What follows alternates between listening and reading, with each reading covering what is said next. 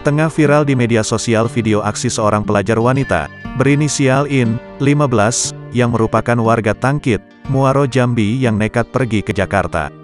Aksi itu viral lantaran IN, yang masih duduk di kelas 10 SMA nekat pergi dari rumah untuk menemui teman laki-lakinya, yang ia kenal melalui game online Free Fire. IN menggunakan penerbangan pesawat Citylink untuk menuju Jakarta Pusat. Video IN itu pun sontak viral, di beberapa media sosial.